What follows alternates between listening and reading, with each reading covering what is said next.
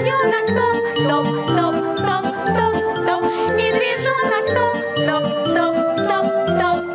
А утенок шлеп, шлеп, шлеп, шлеп, шлеп, шлеп, и гусенок шлеп, шлеп, шлеп, шлеп, шлеп.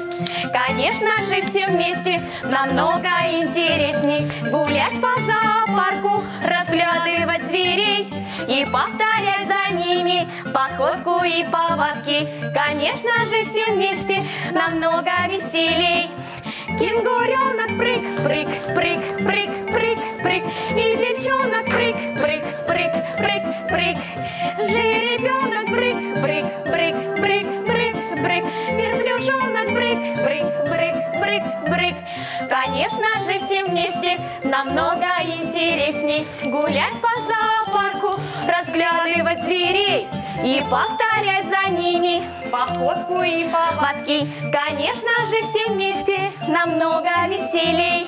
Лягушонок скок, скок, скок, скок, скок, скок.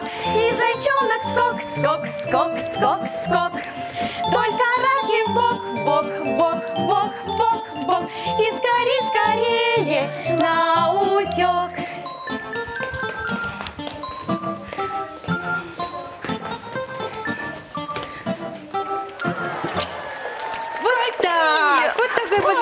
Мы все получили от маленьких наших артистов.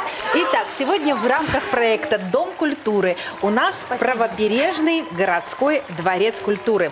Это кружок а, для самых маленьких, для малышей. Называется он «Топ-хлоп».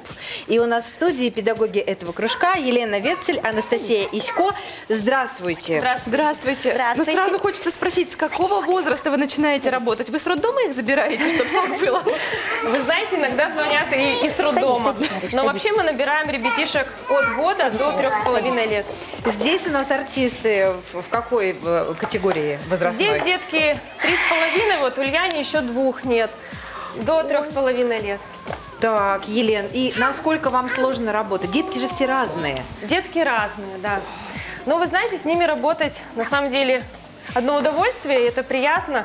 И нам с ними комфортно. Вы устаете с ними? Мы сегодня с Антоном разговаривали на тему, вот вы приходите на работу, целый день с маленькими детьми, что-то танцуете, поете, что-то делаете.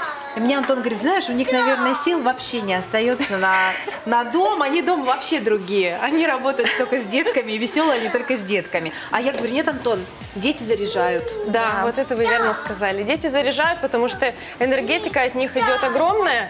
Мы им отдаем св- свою энергию, они делятся с нами своей энергией. Елена, как часто можно с такими малышами заниматься? Они же быстро утомляются. Мы занимаемся два раза в неделю, вот урок идет 40 минут, но урок очень разнообразный и постоянная смена деятельности. То есть мы посидели, что-то поделали на мелкую моторику, встали, покачались, побегали, попрыгали. И мы стараемся, чтобы 40 минут прошли очень продуктивно и динамично. В чем основная сложность работы с самыми маленькими? По идее же, навыков нужно привить меньше, чем обычному ребенку, потому что они больше не освоят. Но сложности ведь тоже есть. Какие сложности вы замечаете? Наверное, сначала нужно внимание их удержать. Вот это самое тяжелое. А потом ребятишки привыкают друг к другу. То есть они так же, как вот в студию сейчас пришли, все отвлекает, им все интересно, и так же к нам. То есть когда они уже привыкают к нам, к деткам, к предметам, к досточкам, они уже вот все, можно с ними заниматься дальше. Настя, а вот как, допустим, с родителями быть? Э, Соглашаются детки без родителей заниматься? Или все-таки приходится первое занятие вместе с родителем проводить? А, это по-разному. Кто-то с родителями занимается вначале, а кто-то, например, уже сам может.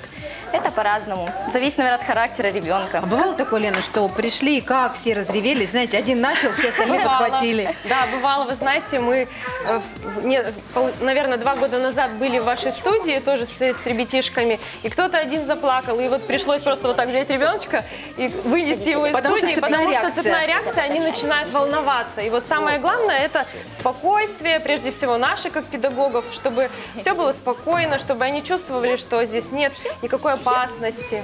И также и на занятиях. Сами замечаете, как ребятишки меняются после того, как начинают ходить? Есть какой-то прям Да, вы знаете, с- э, рост виден абсолютно у каждого ребенка. И есть детки, которые, допустим, долго, долго не, не раскрываются. И иногда, знаете, даже улыбка ребенка, она такую радость дарит педагогам, когда детки, допустим, закрытые, и они не хотят вот долгое время раскрыться, и потом ты видишь, что ребенок улыбнулся, и это счастье такое огромное для нас, для педагогов.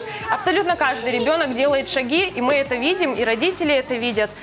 И ну, мы стараемся оценивать детей Вот, э, то есть ребенок не сравнении с кем-то, а в сравнении только сам с собой. То есть мы видим его личные шаги, его рост, не сравнивая с другими детками. И последний вопрос. В топ-хлоп, в ваш кружок, еще не поздно попасть. Можно привести ребенка или уже набор закончен? Набор идет в течение всего года, так как детки иногда уходят в детский сад, мамы выходят на работу, Так. поэтому места периодически появляются группах. Все, что остается добавить, что это правобережный городской дворец культуры. Дальше заканчивайте сами, я к ним пошла. У них так классно вообще.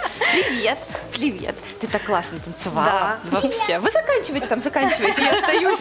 Мы не можем закончить. У тебя Мы любуемся. У тебя бегемотик. понравилось? Понравилось вам? Да? большие. Придете еще к нам? Супер! Все, давайте помашем нашим классно. зрителям. Пока-пока, зрители!